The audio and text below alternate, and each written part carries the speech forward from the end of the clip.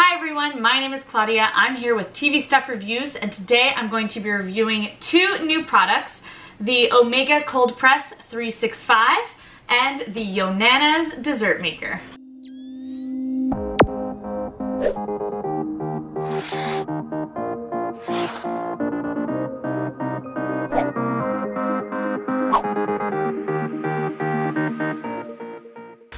Gonna start off with the Omega Cold Press 365. This is a typical juice maker. I'm going to make six different juices for you today, all from fresh vegetables and fruit. So these are all of the different parts of our juice presser. As you can see, the actual unit here is actually quite compact and small, which I do like. Um, this is the power cord, obviously.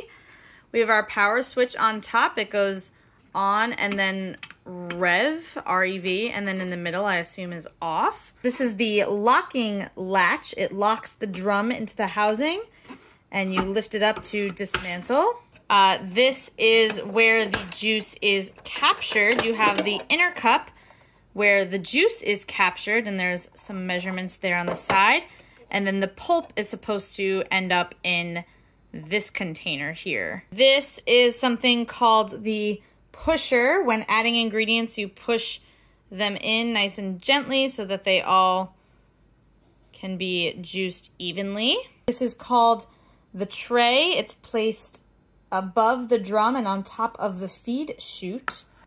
This part here is called the drum and feed chute. Inside the drum, you have a little spirally piece that's called the auger, I think I'm pronouncing that right.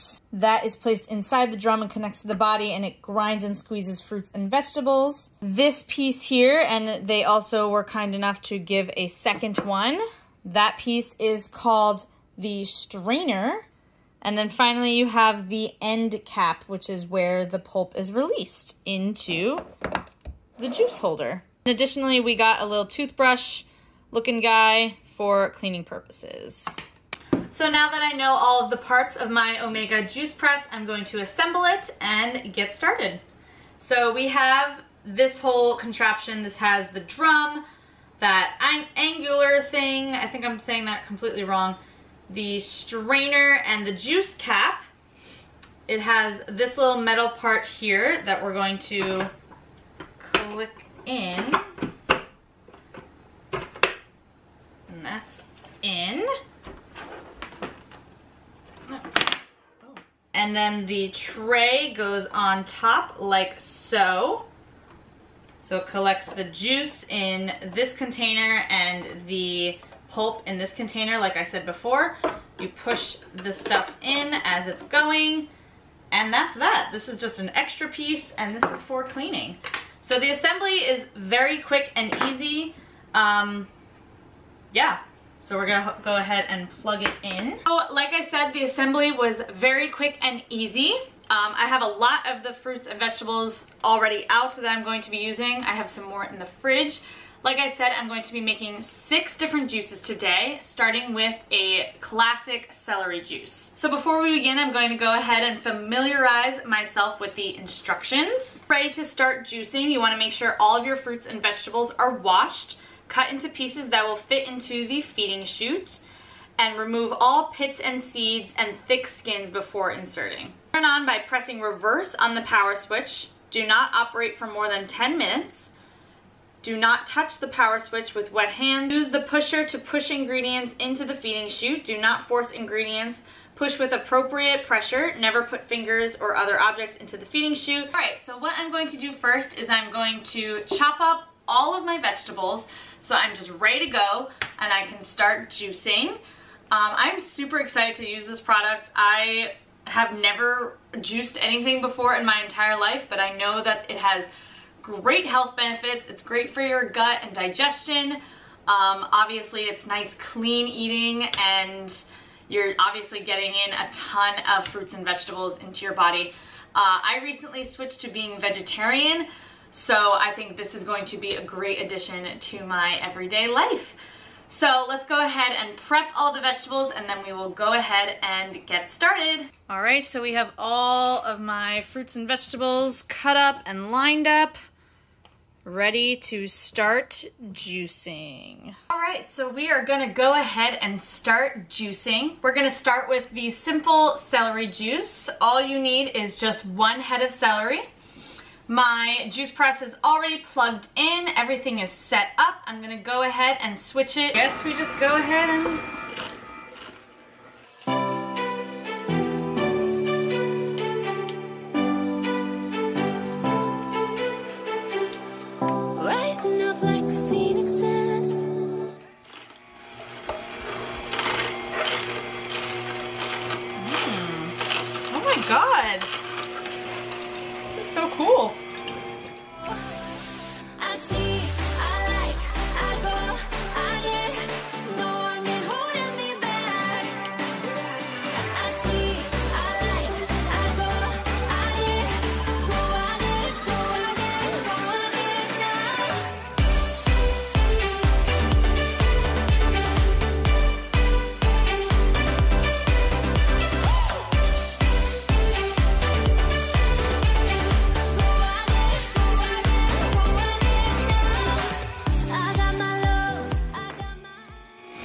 there we go. We have some fresh celery juice. That was so cool and quick and easy. Go ahead and pour that into a cup. I can't imagine this is gonna taste good. Um, I've never had celery juice before, but cheers, y'all.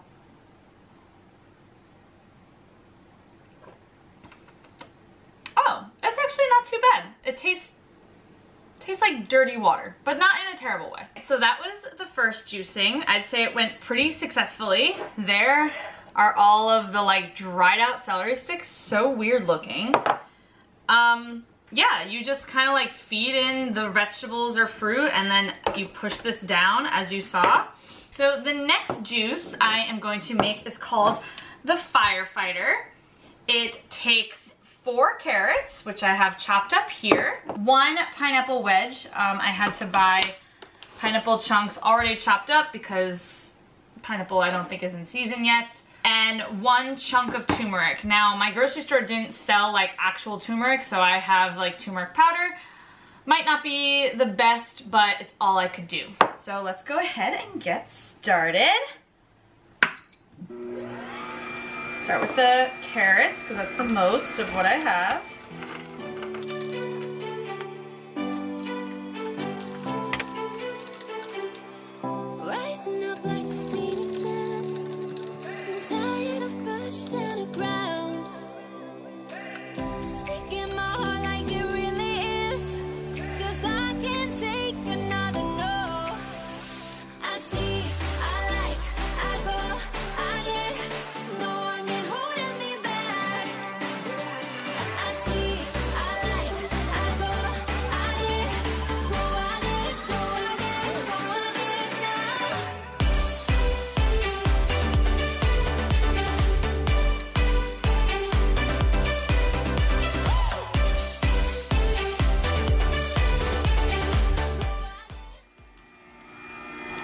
When something is already like so watery, like pineapple, it like goes nice, like so easy.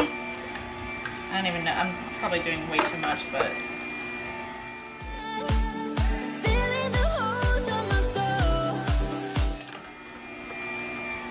Let's go ahead and take a sip of the Firefighter.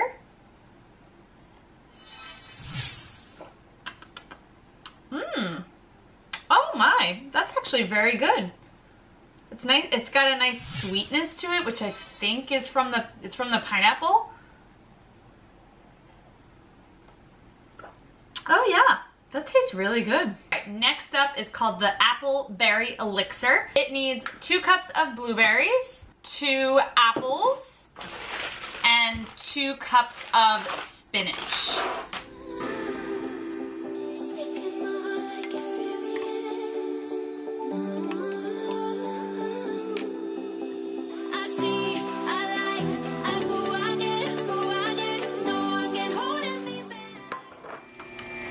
I love the little tray up top because then like it catches the blueberries and you just, you don't have to worry about like pouring multiple times.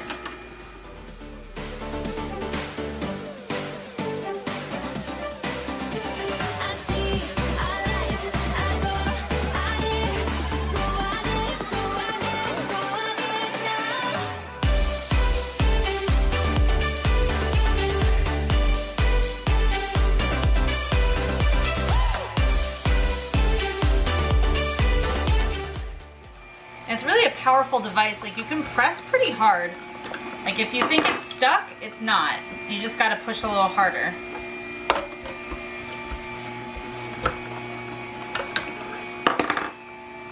Ugh. Oh, it looks so gross when it comes out though.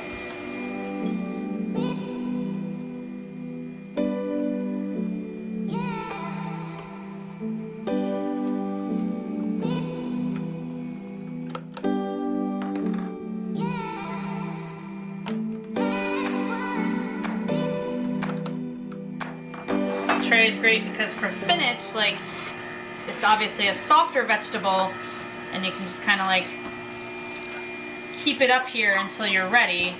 Then you go ahead and push it down. Ooh. I'm very curious to see how spinach comes out. So interestingly enough, spinach is slower. I really thought it would be faster just because it's just leaves but it's not. It's pretty slow. Um, the pulp is coming out very slow.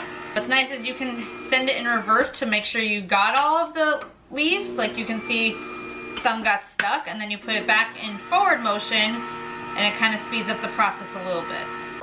This is our apple berry elixir. Bottoms up. Mmm. Oh my gosh, it's so sweet.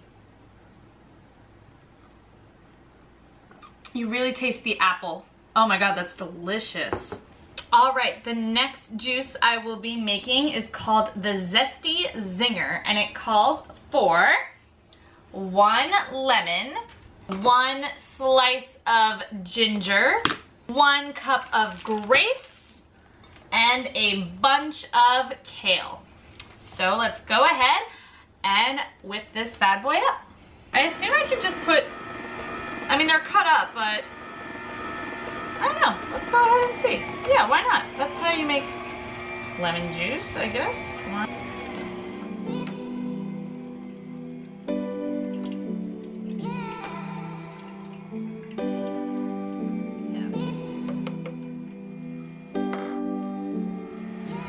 All right, here is the Zesty Zinger.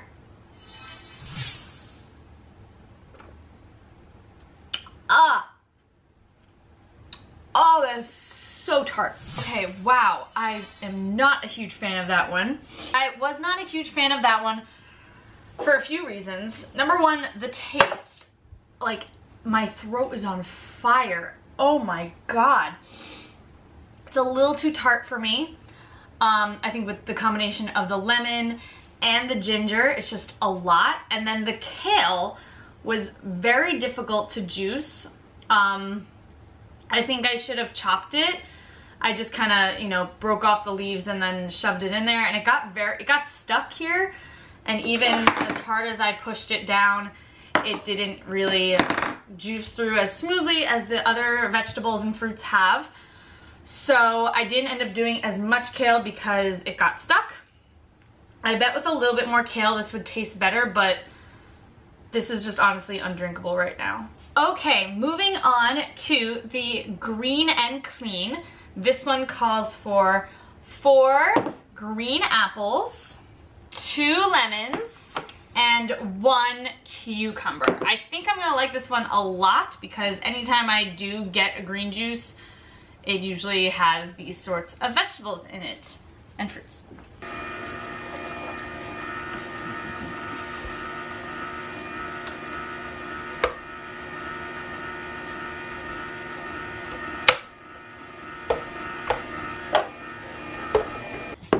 right, this is the green and clean. a lot of this one. Let's hope I like it. Cheers. Ooh, that one is very good. Not too tart. Um, nice and light and refreshing. Tastes something like perfect for the springtime, summertime. Mmm. This is a keeper. I think this one's my favorite so far. All right, and the last juice I will be making is called Turn Up the Beet, and it calls for two lemons, two carrots, two apples, and of course, two beets. Now beets are like, they stain very easily, so I'm gonna wear gloves when it comes to putting those in.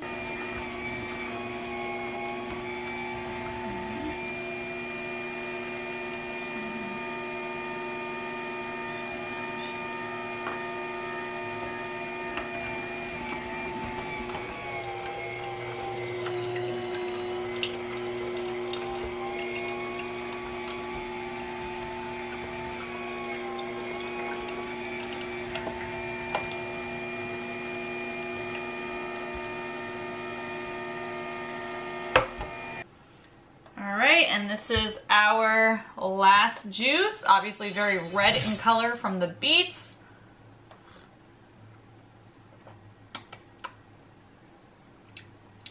It's not too bad. It's definitely not as sweet as the other ones. Um, I think that's obviously from the beets. But you do, do still taste that like hint of lemon and that hint of apple. It tastes very earthy because of the beets. Um, it's not bad. It's definitely not my favorite. I think Green and Clean was definitely my favorite because just tasted like nice and light and refreshing. This one, this one's growing on me though.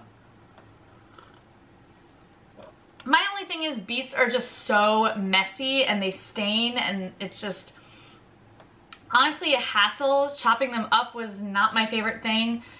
The Green and Clean was my favorite not only for the taste, but also for how easy the prep was. I am much more willing to chop up some apples and cucumber than I am to chop up a beet every morning. All right, so now we're gonna go ahead and clean our Omega cold press. First step is gonna be dumping all of the pulp. Gross. Then we're gonna go ahead and remove the tray like so. We unlock and pull out this whole thing. This part twists and comes off, and then we have to get in there nice with the toothbrush provided. And then this part comes out like so. We'll also toothbrush that.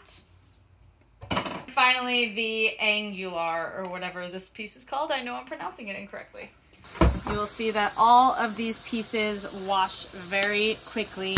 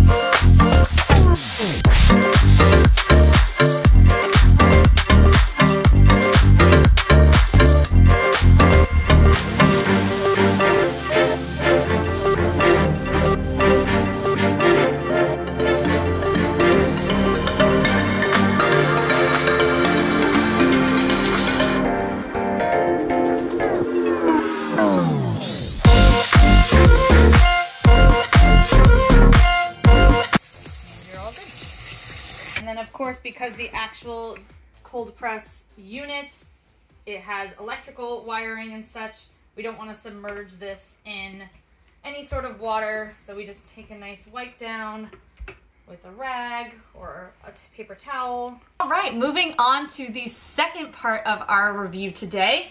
Today I'm going to be also testing out the Yo Nanas. So this is a tool to make frozen yogurt out of frozen fruits and it's great because then obviously you know exactly what's going into the dessert. It's fat-free, dairy-free, there's no added sugar, it's just the pure fruit. So these are all of the parts of our Yonanas. This is the plunger. This goes directly in here to plunge the fruit, obviously. This is called the chute and blade cover. That's the chute, and then obviously that is the blade cover. This is the blade. There are tiny little blades on the edges there, if you can see, very sharp. And then underneath the blade, there is something called a blade cone and a gasket to keep everything from leaking. And then of course, this is our base. So to go ahead and assemble this, we put the blade cover over the blade. So it just twists into place and then that goes, click that into position. And then this goes right in there. And then obviously you have to use your own bowl to catch the contents. It does not come with that. So we're gonna go ahead and use one of these bowls and get started. So we are going to be making three different types of frozen yogurt. The first one is just plain banana Yonanas. Um, it says that they recommend you use overripe bananas before freezing them. However, I didn't have any, so I bought fresh bananas. I tried to pick the ones that weren't totally green. They were more on the yellow side.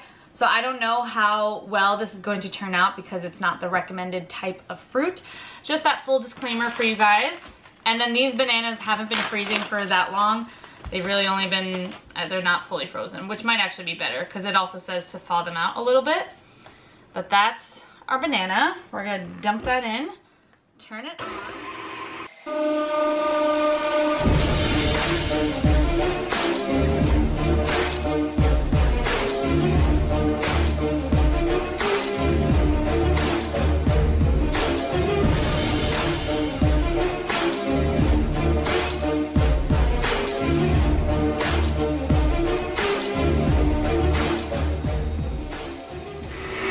So that is what we're working with. It's very gooey. I, like I said, I think if the bananas were more overripe, this would be a little bit more successful. Well, let's go ahead and try it.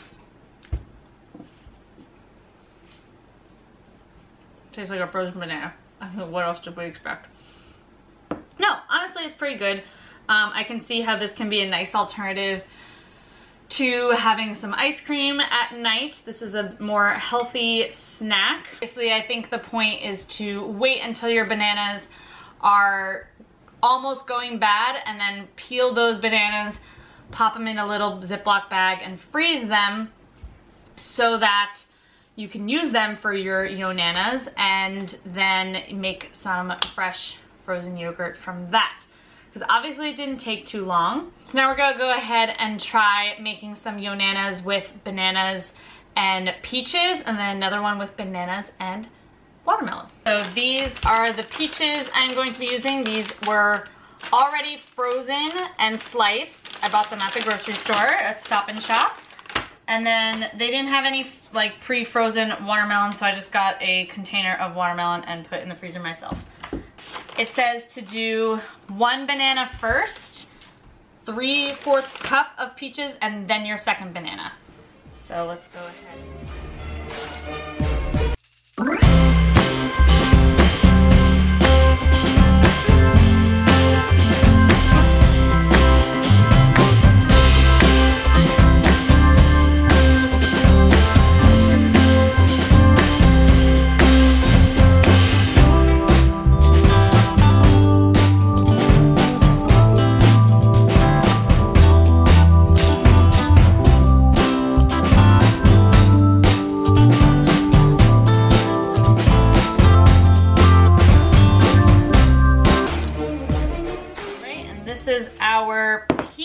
Yonanas.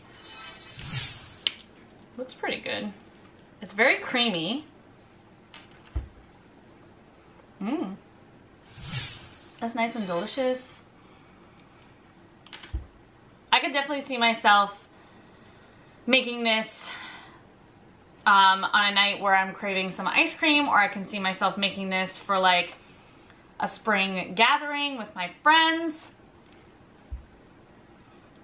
Because it has that nice thick consistency of ice cream, but obviously without any dairy, without any added sugar. It's a nice healthy alternative. And finally, I will be making some watermelon yonanas. So same deal, we do the banana first, then we do the watermelon, then we do the second banana.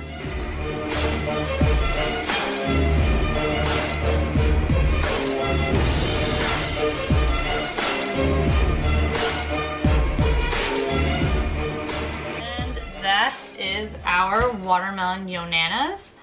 I will say, I think the peach, and maybe just because the color is throwing me off with this one, the peach seemed to mix a little bit better, but I guess once you mix it all together, it's not as bad. Let's try this one. Mmm. That one's really good. I love watermelon. Nice and refreshing. Not too sweet. You don't really taste the banana so much in this one because the watermelon flavor cuts it a little bit. All right, so now it's time to clean our Yonanas device. We're gonna shift this thing into the unlock position. It slides right out. What's nice is because of the blockage, there isn't anything that's gonna be pouring out, so it's not a messy cleanup. Untwist that. That's where, oh, it's not as much as I thought it would be. I thought there would be a lot more. So that's gonna get washed. I'm gonna pull this out. There it is. That's where it all is. And then that's gonna get washed.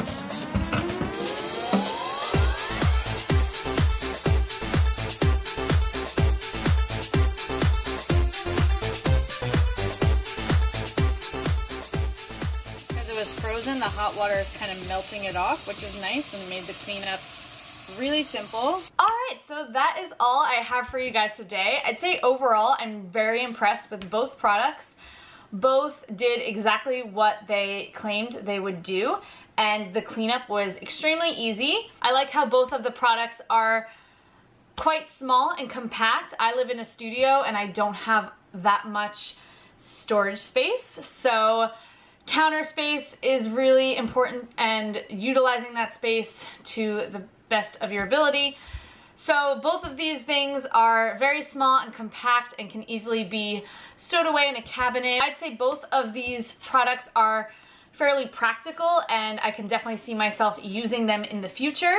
I've been really into drinking hot lemon water in the mornings, but now that the weather is kind of warming up, it might be nice to change it up and have a fresh pressed juice. And then instead of going to an ice cream or something not as healthy for me in the evenings when I do have a sweet tooth, it might be nice to make a quick little Yonanas frozen yogurt so all in all, I'd have to give both of these products five out of five stars. I am really impressed and I'm looking forward to using them again in the future. So that is all I have for you guys today. If you liked this video, be sure to give it a thumbs up. Make sure you are subscribed to this channel for more As Seen on TV products and reviews.